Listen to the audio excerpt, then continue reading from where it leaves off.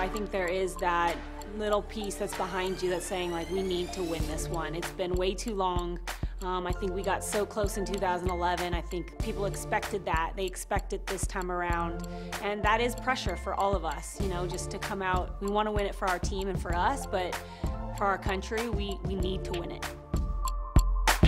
We want to win. We know that the competition has gotten better, but I still think that we've gotten better too. I mean, I've been on this team for a decade, and the quality of players that are coming in are so much better than when I came in. And so I think that we're getting better just like the rest of the world is too. And we have so many young players who, you know, are going to bring that energy and that vibrant part of it. But then you have the experienced players like you see Christie Rampone and myself, and that's going to be the, the leadership and the voices, I think, behind it. There's more games than there has been in the past. It's on turf. I mean, this is going to be a lot harder on our bodies, and I think that Jill, our head coach, has done a great job of really making sure she's checked out all of those boxes and said, okay, well, we're we're ready for everything.